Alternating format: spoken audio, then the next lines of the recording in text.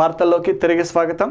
సోమవారం స్థానిక అర్బన్ జిల్లా పోలీసు కార్యాలయంలోని ఎస్పీ గ్రీవెన్స్ సెల్కు జిల్లా నలుమూలల నుండి పలువురు బాధితులు చేరుకొని తమ సమస్యలపై ఎస్పీకు ఫిర్యాదు అందజేశారు. ఫిర్యాదులు స్వీకరించిన ఎస్పీ బాధితులకు సత్వరమే న్యాయం జరిగేలా చర్యలు తీసుకోవాలని అధికారులను ఆదేశించారు. ఈ సందర్భంగా మీడియాతో పలువురు బాధితులు మాట్లాడారు.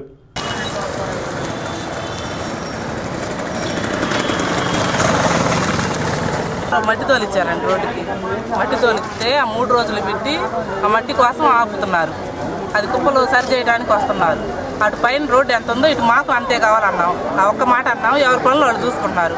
వాళ్ళు మూడు రోజులు పెట్టి కాపేసుకొని ఉన్నారు కర్రలు తెచ్చి ఒక ఇంట్లో పెట్టారు. ఎవరి పనుల మీద వాళ్ళు వెళ్ళిపోయాం. ఇంట్లో ఉన్న నలుగురు మగవాళ్ళు ఆడవాళ్ళు ఆడపిల్లల మీద ఆడవాళ్ళ మీద కొట్టి వాళ్ళని ఎట్ట పడితే అక్కడ తలకాయలు పగలగొట్టి చేశారు ఆడవాళ్ళు కూడా మగపిల్లలను పట్టుకొని తలకాయలు పగలగొట్టారు.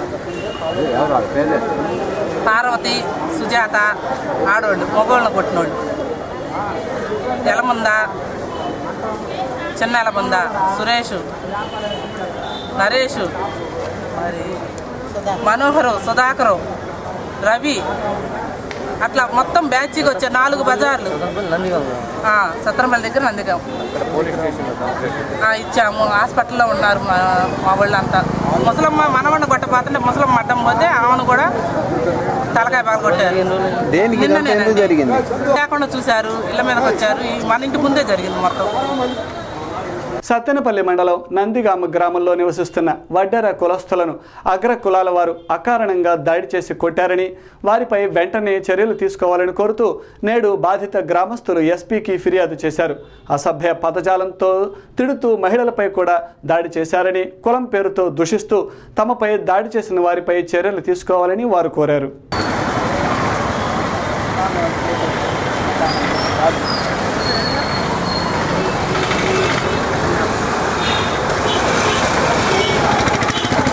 రూరల్ మండలం నందిగా నందిగామ అనేటువంటి గ్రామం అమరావతి బై రోడ్లో నందిగామ అనే గ్రామంలో వడ్డెర కులస్తుల పైన ఆ గ్రామంలో ఉండేటువంటి కమ్మ కులస్తులు ఒక చిన్న సంఘటన అది పెద్ద సంఘటన కూడా కాదు.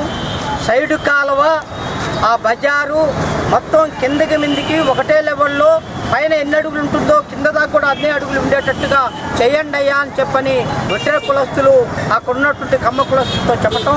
దానికి నా కొడకల్లారా మీరు మాకు చెప్పేంత మాత్రపోళ్ళ మా బజార్లో కూడా అడుగు చేసి మీతో పాటు సమానంగా అని చెప్పని మరి వాళ్ళు దాడి చేసి విచక్షణ రహితంగా ఆడవాళ్ళని మగవాళ్ళని ముఖ్యంగా పెద్ద వయసు వాళ్ళని కూడా మరి అరవై సంవత్సరాలు డెబ్బై సంవత్సరాల వయసు ఉన్నటువంటి మరి వృద్ధులను కూడా విపరీతంగా కొట్టడం జరిగింది. తేలుస్తామని చెప్పని బహిరంగంగా బండబూతులు తిట్టడం అనేటువంటిది.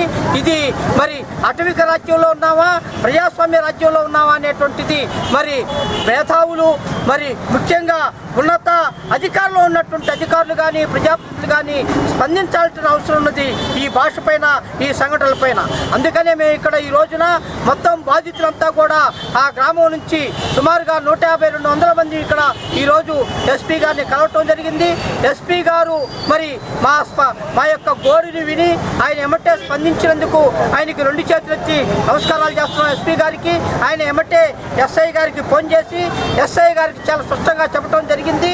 మనం పోలీసు ప్రొటెక్షన్ ఎవరికి ఇవ్వాలంటే ఓ సామాన్యమైనటువంటి మరి దళిత బీసీ వర్గాలకు సంబంధించినటువంటి మైనార్టీ వర్గాలకు సంబంధించిన వాళ్ళకి మనం ప్రొటెక్షన్ ఇవ్వాలా? అగ్రవర్ణాల కాదు. అందుకని భవిష్యత్తులో ఇలాంటి సంఘటనలు జరగకుండా చూడమని చెప్పని మరి ఎస్ఐ గారికి చెప్పడం జరిగింది.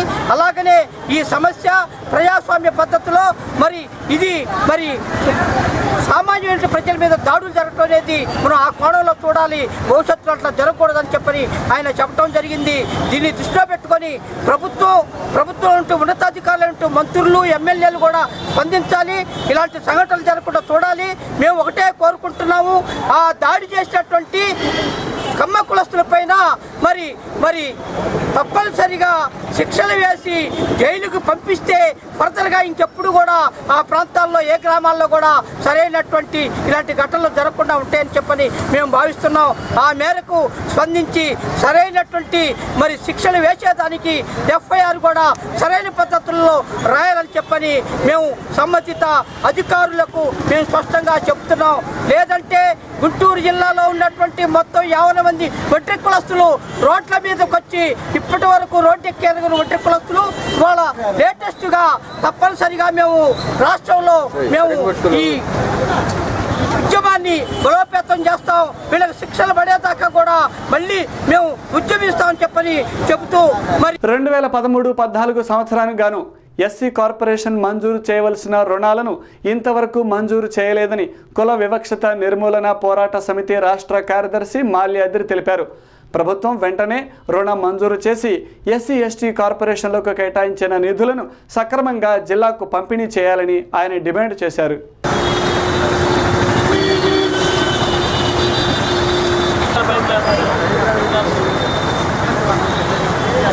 పదమూడు పద్నాలుగు సంబంధించినటువంటి ఎస్సీ ఎస్టీ కార్పొరేషన్లో రుణాలకు సంబంధించి దాదాపు రెండు వేల మందికి రుణాలు ఇవ్వాలి.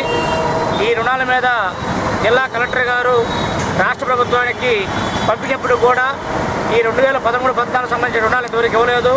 అందుకోసంగా కులవక్త్రేయ పోరాట సంఘం డిమాండ్ చేస్తూ ఉంది.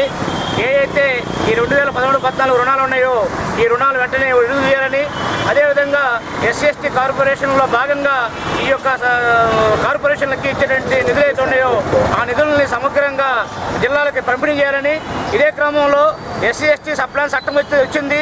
ఈ చట్టానికి ఇంతవరకు నియమ నిబంధనలు లేవు. అందుకోసంగా రాష్ట్ర ప్రభుత్వం వెంటనే జోక్యం చేసుకొని ఈ నియమ నిబంధనలు ఏర్పాటు చేయాలని డిమాండ్ చేస్తా ఉన్నాం. అదే క్రమంలో ఈ రోజు రాష్ట్రంలో ఉన్నటువంటి అనేక జిల్లాల్లో ఎస్సీ ఎస్టీ కార్పొరేషన్ సంబంధించిన రుణాలు ఉన్నటువంటి పెండింగ్ ఉన్నాయి. వీటి వెంటనే విడుదల కోరుతా ఉన్నాం. మరో పక్క రాష్ట్ర సాంఘిక సంక్షేమ శాఖ మంత్రి ఏ జిల్లాకు పోయినా కానీ ఇదే ప్రదేశ పదే ప్రస్తావిస్తా ఉన్నాడు. కానీ ఈ విషయం ప్రస్తావిస్తాడు కానీ ఇంతవరకు రుణాలు ఇవ్వలేదు కాబట్టి వెంటనే ఈ జోక్స్ తీసుకుని చెప్పి డిమాండ్ చేస్తా ఉన్నాం. క్యూటీవీ న్యూస్ ముగించే ముందు హెడ్లైన్స్ మరొక్కసారి.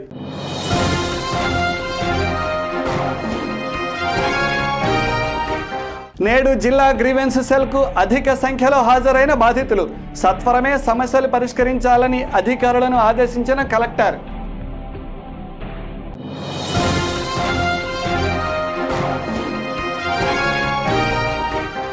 గిరిజన దళిత కౌలు రైతు కూలీల మౌలిక సమస్యలను ప్రభుత్వం వెంటనే పరిష్కరించాలి. రాష్ట్ర సదస్సులో రైతు కూలీ సంఘం నాయకుల డిమాండ్.